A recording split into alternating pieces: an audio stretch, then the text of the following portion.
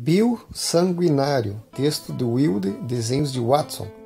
A Guerra da Secessão, tropas da União e confederados fazem uso extensivo das guerrilhas.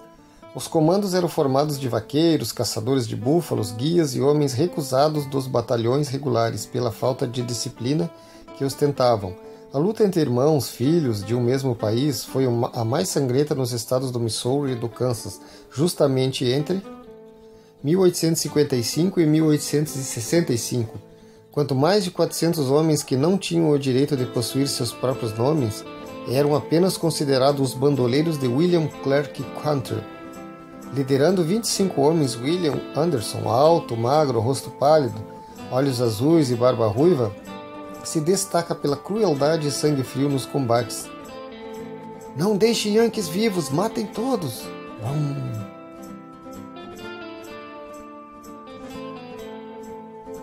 Vamos levar todas as armas para o acampamento. A luta termina, os rebeldes voltam para o acampamento com a vitória. Guardem tudo, vou falar com o comandante.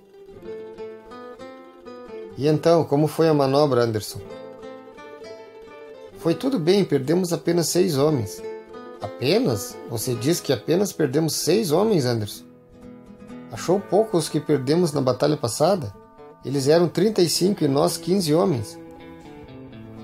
Deixe isso para lá, o importante é que trouxe as armas. Pegue. Vamos precisar delas mais cedo do que pensávamos. Pretende realmente atacar Lawrence City? Eu... Vamos partir amanhã, assim que o sol nascer. Vou avisar os rapazes. A propósito, falta açúcar nesse café. Maldição.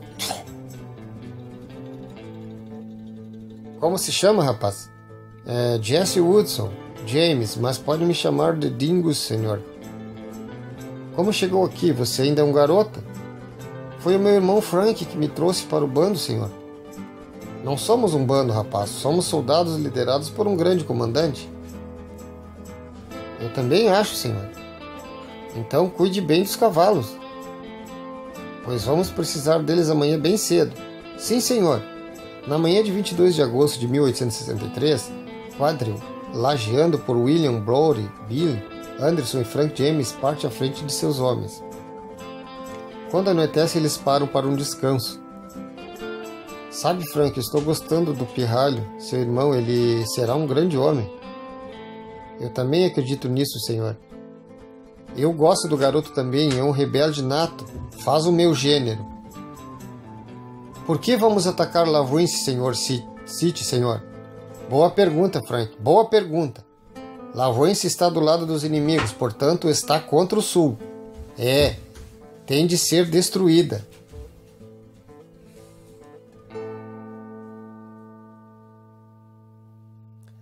Para que ele usa tantos revólveres, Frank?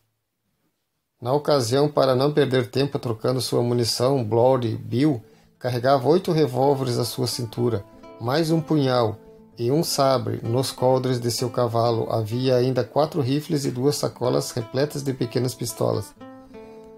Não sei, Jesse, eu acho o Anderson muito esquisito. Nos combates ele demonstra que gosta de matar sem discrição. Esqueçam Billy e vão dormir, vão precisar de energia para amanhã. Muito bem, rapazes, quero ver todos dormindo, não ronquem, viu?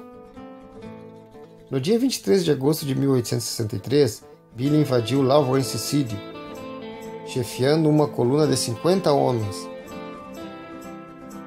atirando em todas as pessoas que pudesse acertar, fossem homens ou crianças, ou mulheres, quase todos desarmados.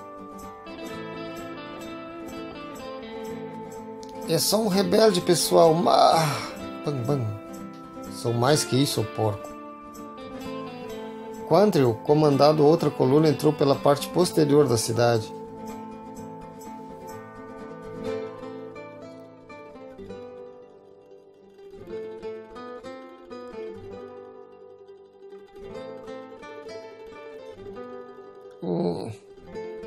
A cidade logo foi subjugada pelos rebeldes.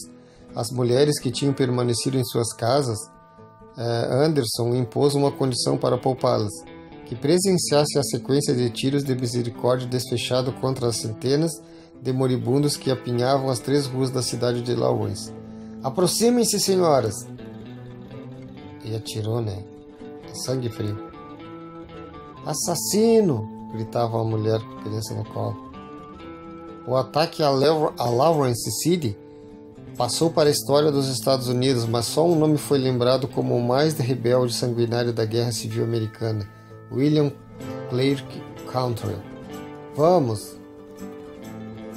Dias depois, no acampamento dos rebeldes, em que está pensando, homem? A carnificina de Lawrence não sai da minha cabeça. Esqueça, mano, isso são coisas da guerra. Com uma diferença, você parece gostar disso tudo, eu não. O rapaz tem razão, Frank. Depois do que aconteceu, o general Waving deterá seu avanço contra nossas tropas. Tem razão, Bill. E você, Frank, entendendo, entendo que tenha preferido combater soldados, mas a operação foi necessária, compreende? O senhor está certo. Nós socorremos o exército confederado a guerra prosseguiu seu percurso destruidor. A represália do Comando do Norte foi sangrenta, foi tão sangrenta quanto a da cidade de Lawrence. E os inocentes fizeram sua parte no jogo. Homens e mulheres estão sendo assassinados por não querer passar para o lado deles. O exército da União rebaixou-se ao nível de guerrilheiros. Iremos mostrar a eles quem é o mais forte. Isso! Não podemos arriscar todos os homens contra. Seria suicídio. Ok. Você fica com 300 homens, os outros vão comigo para Kentucky. Só posso lhe desejar boa sorte. Mas a sorte não estava ao lado de William Clark. Quantrill. Em Kentucky, seus guerrilheiros foram dizimados e ele preso e fuzilado. 1864 agora Bill Anderson não era mais um guerrilheiro. Matava e roubava para sobreviver. Jesse James, com 17 anos, apenas acompanhava o bando do temível Billy Anderson, que agora se tornara conhecido como Billy Sanguinário. Uma tropa da União foi enviada para acabar com o bando, mas foram surpreendidos. Billy mandou reunir os 12 sobreviventes, se despirem e em seguida mandou Jesse e Little Ark fuzilá-los. Eu não vou participar desse morticínio, morticínio, Anderson. Aqui nos separamos. Vou sentir sua falta, Jingles.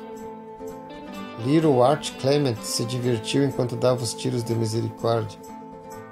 Outubro, um mês após a chacina, enquanto seguia à frente de seus homens em marcha lenta, foi surpreendido por uma tropa de cavalarianos. A fuzilaria foi inteira e quis dar meia volta, mas a retaguarda estava bloqueada. Logo ele se viu só.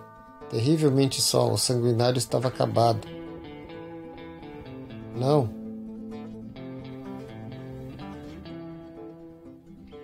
Não, ele já está morto. Deixe-o.